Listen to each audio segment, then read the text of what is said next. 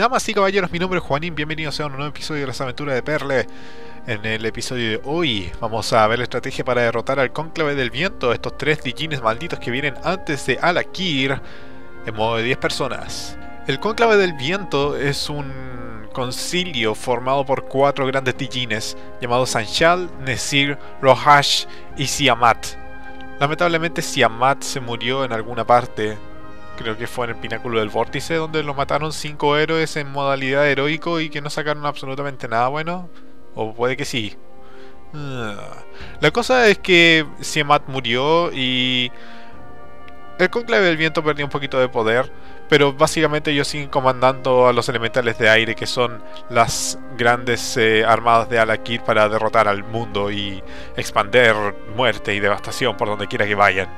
Los ingredientes para esta pelea van a ser dos tanques, tres sanadores y cinco atacantes. Al menos uno de esos atacantes es muy recomendable que sea rango y muy recomendable que sea cazador.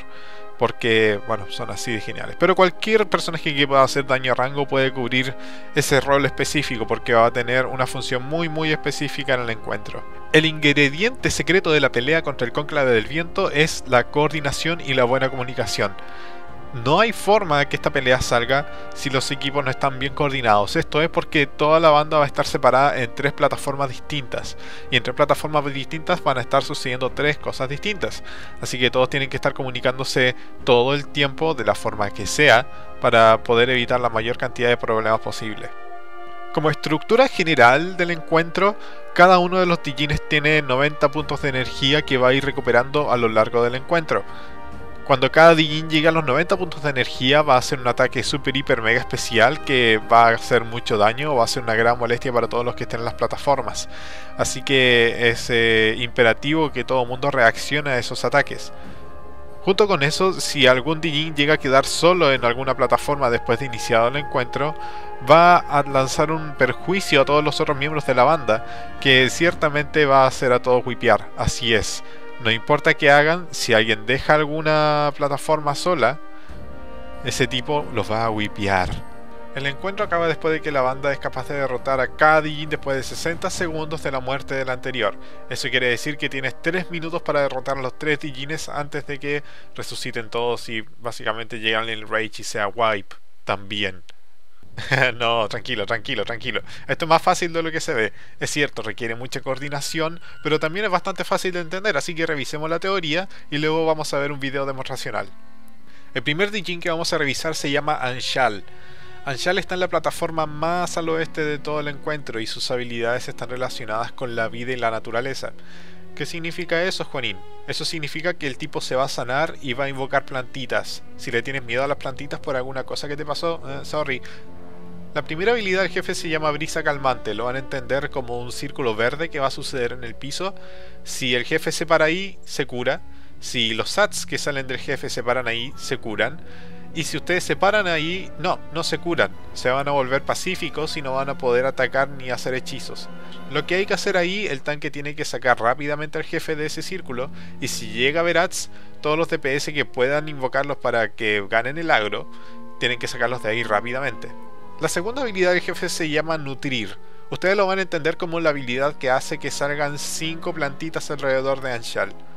Cada plantita va a tener un aura que pone un daño sobre el tiempo en todos los jugadores que estén cerca, así que hay que matarlos rápido y preferentemente de lejos. Esta tarea es muy fácil de hacer para los cazadores porque ellos son muy buenos para, digamos, convertir a los tipos en volantines, arrasarlos por toda la plataforma y matarlos a distancia mientras eh, hacen una buena cantidad de daño. También se los puede hacer control de masa, se los puede eh, se los puede ralentizar, así que no debería haber problema en eso. Ahora bien, ¿se acuerdan que yo les decía que estos tipos tienen habilidades especiales cuando llegan a 90 puntos de energía?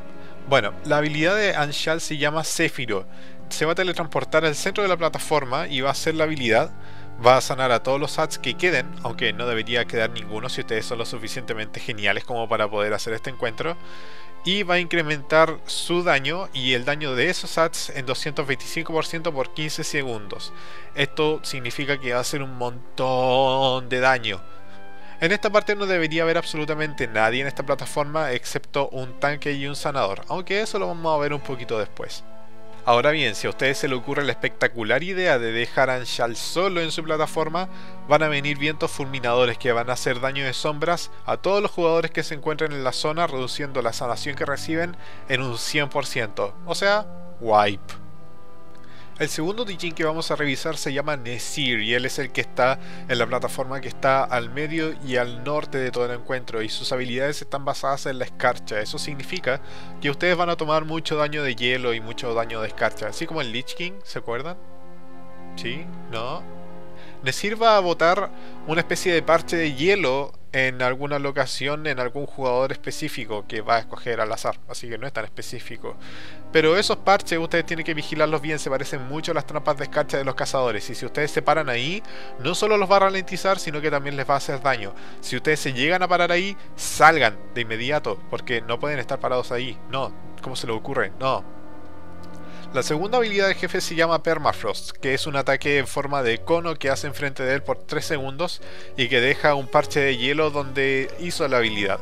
Si usted no es tanque, no se para ahí. Si usted es tanque, párese ahí. La tercera habilidad del jefe es un viento helado, que es básicamente un perjuicio que va a causar que todos los jugadores que sean afectados en la plataforma de Nesir, no en otras plataformas por supuesto, sean propensos a tomar más daño de escarcha. Esto es muy muy peligroso, en especial considerando que existen parches de hielo. Entonces, si un jugador tiene muchos vientos gélidos y está parado sobre un parche de hielo, lo más probable es que tome una gran cantidad de daño o muera. El especial que hace Nesir cuando llega a los 90 puntos de energía se llama Tormenta de Granizo. Esto significa que va a hacer daño masivo de área a todos los jugadores que estén en la plataforma de Nesir, pero el daño se va a repartir entre todos los jugadores que estén en la plataforma de Nesir.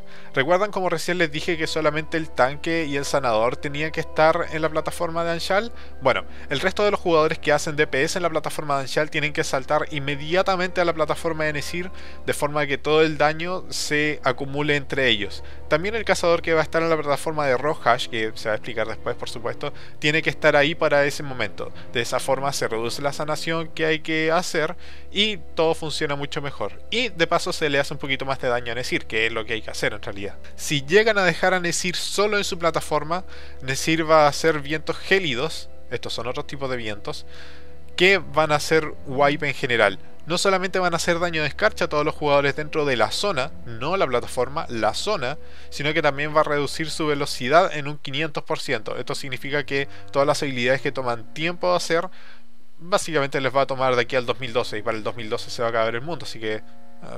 En fin. Ahora viene el tercer Dijin llamado Rojash. Pese a que está basado en viento, no se mueve mucho. Él va a estar en la plataforma este y como les decía, sus habilidades están basadas en viento. La primera habilidad se llama Vendaval Constante, que ustedes le van a entender como, ah, hay que sanar esto nomás.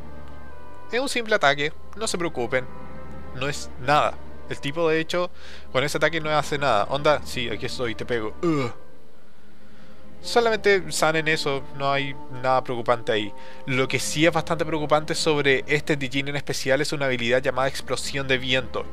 El jefe se va a poner en una posición específica, como colocando la manito para adelante, y durante 5 segundos el jefe va a girar y va a generar una muralla de viento. Si ustedes se paran en esa muralla de viento, el jefe lo va a botar de la plataforma. Y oh, eso es wipe, porque va a hacer su habilidad de viento que causan sordera y es como súper raro. Entonces lo que ustedes tienen que hacer ahí es no ser golpeados por la muralla. Ahora bien, hay una técnica para esto. Ustedes se van a dar cuenta que cuando Rojas tira la manito para adelante para hacer la muralla de viento, se va a demorar un par de segundos. Entonces ustedes aprovechen de ver en ese momento la dirección hacia la cual Rojas va a tirar su muralla y dependiendo de eso se colocan ustedes en la espalda de Rojas. Eso va a significar que ustedes van a evitar completamente la muralla y le van a hacer un LOL a él. La habilidad que sucede en Rojas cuando él llega a los 90 puntos de energía se llama Huracán. Los va a levantar a todos los que estén en la plataforma en el aire, les va a hacer daño mientras esté sucediendo el huracán y después cuando ustedes caigan, ¡pam! más daño. Así que cualquier cosa que ustedes puedan utilizar para evitar ese daño de caída, que es en realidad el que hace más daño, más daño incluso que el propio huracán, es muy bienvenido. Paracaídas, eh, levitar, eh, no sé, ser Superman, creo. Y si no hay nadie en la plataforma de Rojas, Rojas va a hacer sus vientos ensordecedores. Esto va a hacer que todos los jugadores tomen daño de naturaleza que incrementa en el tiempo y más encima queden silenciados. O sea, wipe. Ahora bien, ¿cómo lidiar con todo esto? Súper, súper fácil. Vamos analizando plataforma por plataforma. De partida, para la plataforma de Anshal yo les dije que vamos a necesitar un tanque, un sanador y el resto de los DPS que estén disponibles, excepto el cazador o el mago o el brujo que esté en la plataforma con Rojash. Entonces, ese tanque y ese sanador van a estar tanqueando a Anshal así como, hola, yo soy tanque, yo soy sanador. Y después cuando suceda el, eh, el, especial de los tres jefes, que va a suceder al unísono, porque eso es lo que sí comparten la barra de energía, el tanque y el sanador que estén en Nesir, que es el de hielo, se van a cambiar con el de. Esto es porque Nesir también les va a estar colocando su daño sobre el tiempo y su efecto sobre el tiempo. Entonces, de esa forma, el tanque y el sanador de ambas plataformas se van refrescando de los debuffs de Nesir. En cuanto a DPS, esto es bastante fácil. Al principio los DPS que estén en Anshal tienen que dañar al jefe lo más posible. Si es posible dejarlo en 40 o 30% de vida en el primer, digamos, antes de que llegue el primer ataque especial, genial. Pero la cosa es que Anshal es el que siempre tiene que caer primero. Luego cae Nesir y luego cae Rojas. Así que cuando todo el mundo esté en Anshal, traten de hacer la mayor cantidad posible a Anshal. Cuando todo el mundo esté en Nesir, traten de hacer la mayor cantidad de daño posible a Nesir hasta que suceda la habilidad especial. Cuando termine la habilidad especial, todos los, todos los atacantes de rango y todos los atacantes melee se van a decir de vuelta a Anshal, porque lo más seguro es que Anshal se recuperó un poquito y hay que empezar a bajarlo un poquito más. Por lo tanto, Rojas es como el último que va a quedar con, eh, con daño y es el último personaje que se va a matar de todas formas. Así que no es tan prioritario tener tantos tantas personas en esa plataforma porque de todas formas es una molestia si sucede la, la murallita y los bota todos. Así que eso es como toda la estrategia en realidad. No hay mucha ciencia sobre cómo organizar la banda, lo que sí tiene que ser todos muy muy coordinados. El juego va a lanzar un mensaje cuando todos los miembros del conclave alcancen los 80 de energía y eso les va a permitir lanzarse de una plataforma a otra usando estos puentes de viento que son como muy muy geniales y con eso ustedes se van a ir sincronizando. Después de esto y después de entender de esta forma la pelea, el resto es pura práctica. Ya que ahora revisamos un poquito de la teoría, les tengo así vamos a ver un video demostrativo. Eso creo que les va a dejar un poquito más clara toda la situación y cómo hacer bien la pelea. Así que vamos a verlo. Estamos por supuesto con el Team 3 de la Hermandad Caos, no es necesario que los nombre porque ustedes ya los conocen, pero Astolfo va a ser nuestro tanque en Anshal, de ahora en adelante el de vida el jefe de vida va a mantenerse en medio de la plataforma hasta que Astolfo lo arrastre fuera del círculo que va a invocar para poder sanarse. Recuerden que esto va a suceder en un par de segundos más. Lo vamos a ver, quizá en unos eh, dos segundos. Así es, ahí está el círculo verde. Ustedes pueden notarlo, es bastante fácil de divisar. Astolfo tiene que sacarlo de ahí en una forma bastante rápida y van a darse cuenta que en un segundo más, ahora mismo de hecho, Anshal está haciendo la habilidad de nutrir. Esto va a hacer que salgan plantas en el piso, como ustedes lo pueden ver a la izquierda de mi personaje. Y también al frente de estas plantas van a salir estos ads. Y estos ads tienen que caer lo más rápido posible. Recuerden, no puede haber ningún ad ni tampoco el jefe dentro del círculo verde. El círculo verde va a suceder un par de veces dentro del encuentro mientras estemos en Anshal, así que no es algo que quede estático en un solo lugar, sino que se va a desaparecer y luego Anshal va a invocar un segundo círculo, así que hay que estar bastante atento a sacar a Anshal y a los sats de ahí.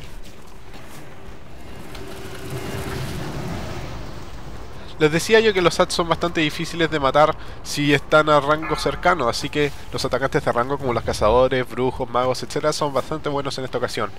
El conclave está llegando ya a los 80 puntos de energía, así que hay que saltar.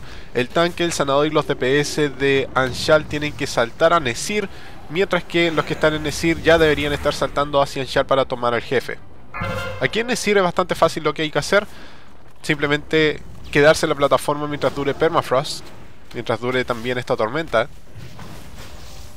Va a durar un par de segundos y todo el daño que se genere de esta tormenta se va a repartir entre todos los miembros de la banda que estén aquí encima. Ustedes pueden ver ahí que se generó en el lado izquierdo el cono de el cono de escarcha que todos los DPS tienen que evitar, el tanque no es necesario y a mi derecha ustedes pueden ver el parche de hielo. Ustedes no se deben parar ahí porque eso los va a ralentizar y también les va a hacer daño de escarcha. Pueden ver también que estoy ganando un perjuicio que ahora debe estar en 3 stacks. Eh, que es el perjuicio que aumenta el daño de el daño de escarcha recibido. Estoy tomando esto porque es necesario también hacer un poquito de DPS en Nesir. Así que el sacrificio necesario de todas formas se va a ir en unos segundos mientras esté en Anshal.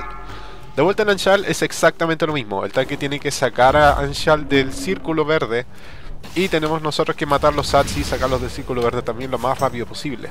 Esto se va a repetir durante toda la pelea, así que si usted está aquí en Anshal, esto es lo que tiene que hacer. Por supuesto matar los sats.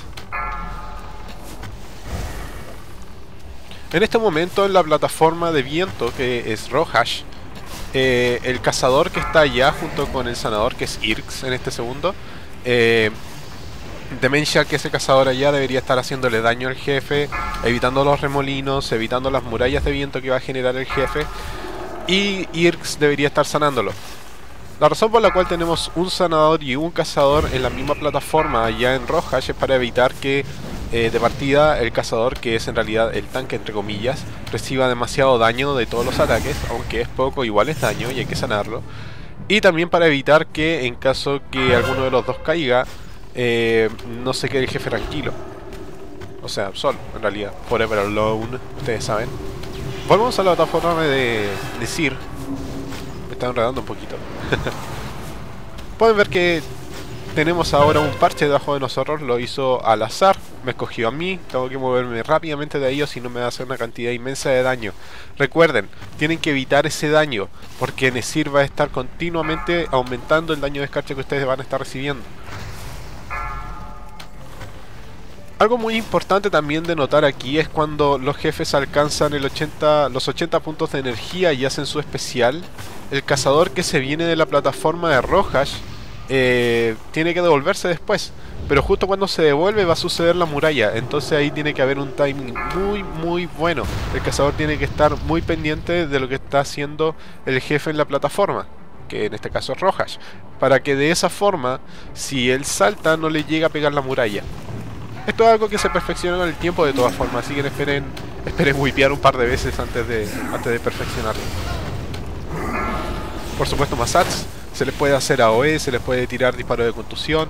Si ustedes son atacantes melee, ustedes pueden hacerle debuffs para poder ralentizarlos. No hay absolutamente ningún problema. Lo que no son inmunes son a los congelamientos, a las raíces y cosas así pero sí son eh, bastante susceptibles a recibir disminuciones de velocidad. Pueden ver que Anshal ya está en muy poco daño y con esto ya vamos a estar terminando el encuentro. Vamos a saltar por última vez a Nesir. Vamos a darle los últimos escarmientos que se merecen por maldito, malvado. Pueden ver que enfrente de Nesir se genera el cono de escarcha que ustedes tienen que evitar a menos que sean tanques, porque eso es inevitable si uno es tanque. Y luego de este salto vamos a volver a Anshal, lo vamos a matar, luego vamos a volver a Nesir, lo vamos a matar y luego vamos a terminar a Rojas y eso terminaría el encuentro. Y eso es absolutamente todo lo que tienen que hacer. No es una pelea difícil, sin embargo tienen que tener muchísimo cuidado para eh, mantener las coordinaciones, mantener los tiempos y estar muy muy atento a lo que hace cada uno de los jefes. Y eso, los dejo acá, mucha suerte y que estén bien. Chao, chao.